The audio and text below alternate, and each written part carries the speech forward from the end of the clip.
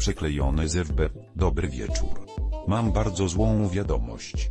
Pani pies wczoraj w nocy umarł, przeczytała w telefonie właścicielka psa powierzonego pod opiekę hotelu dla zwierząt. Wszystko wskazuje, że mógł mieć wadę serca. Zrobiło się ciepło, i wtedy wady serca wychodzą, czytała dalej. Kolejnych wersach były jakieś bzdety, że nic na to nie wskazywało oraz, że piesek karmiony był gotowanym jedzeniem. Właścicielka słusznie zapytała o sekcję zwłok, ale dowiedziała się, że to bardzo drogie jest, więc psa zakopano w ogródku, i w tym momencie historię należy przerwać.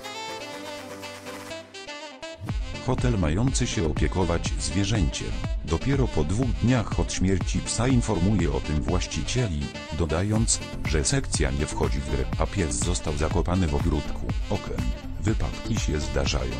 Idioci istnieją. Ale to dopiero początek nowego poziomu. Dlaczego? Ano dlatego, że ten pies żyje i już wrócił do swojego domu. Serio. Pies, który miał być od dawna pod ziemią, wrócił do swojego domu. Ogarnia ktoś ten poziom absurdu, czy tylko mnie to tak bardzo dziwi? Młody, zdrowy pies rasy Chihuahua umiera podczas krótkiego pobytu w hoteliku dla zwierząt, to już jest szokujące. Hotelik informuje, że pies nie żyje, i zamiast sekcji zakopano go gdzieś w ogródku.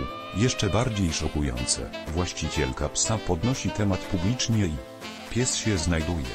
Okazuje się, że został znaleziony 45 km od hoteliku. I to kilka dni przed jego rzekomą śmiercią. Słowo szokujące przestaje pasować do opisu, bo to jest już coś więcej.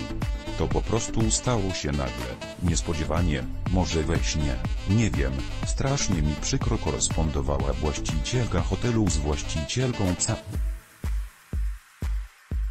Cóż, od siebie dodam, że opinia tego hotelu również umarła. Stało się to nagle, niespodziewanie, może we śnie. Tylko nikomu nie jest przykro o czym świadczy rekord reakcji haha po doświadczeniem hotelu.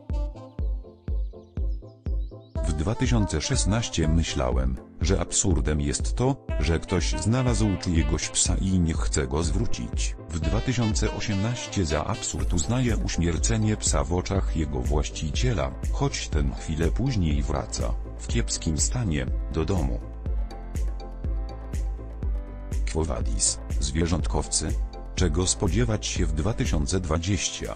Twojego psa porwali kosmici, inspektor Maciek był świadkiem?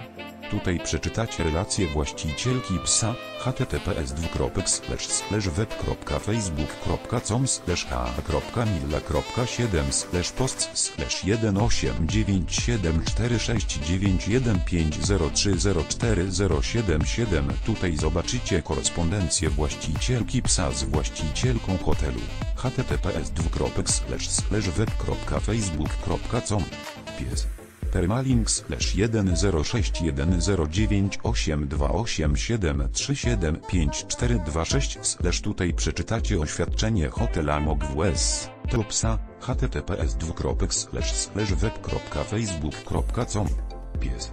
Permalink slash 1061456864006235 slash no i serdeczne gratulacje dla wszystkich fundacji, które umieszczają tam swoje psy.